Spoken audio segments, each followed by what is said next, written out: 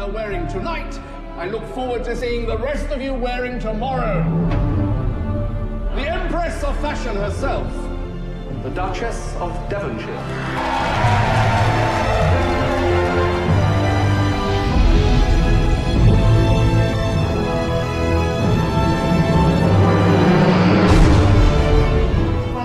Script for it, I, I, the first thing about Georgiana that really struck me was just how incredibly lonely this woman was, you know, and was constantly surrounded by so many people and yet entirely alone.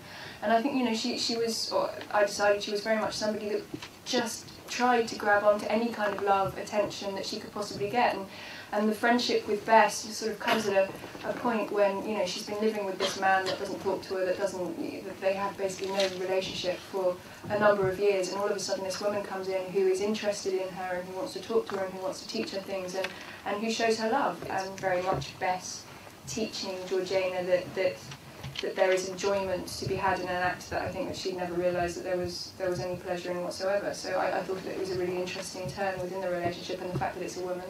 Um, I, I think that Georgiana, I decided uh, that she was very, I mean that she did love her very much.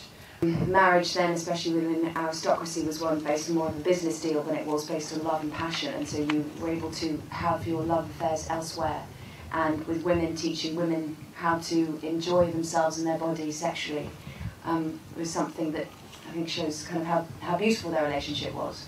But you could also say that it was partly Bess having uh, a sexual power over Dee, as well as other forms of power. The, the basic facts of their relationships are documented, and then Yeah. what actually happens in these private bedrooms and hallways and stuff is the stuff is the stuff of our creative imagining.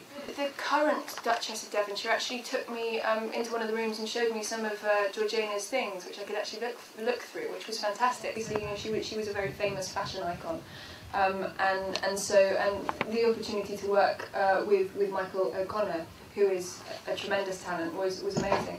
They weren't particularly comfortable, um, I don't think. Um, but you know, there, there's, there is. It, it was very simply the fact that you know you wear a corset and you can't catch your breath. So, so anything, any emotions are much more heightened because you can't you can't calm them down. So they were they were very helpful in the portrayal of the characters. Yes, we had to be sewn in to some of them, which they would have actually been. They would have been sewn in and cut out. Which is very difficult in a, a moment of passion to undo at rapid pace without looking ridiculous. It was he- they were very heavy as well, so many layers to them and, and so much detail.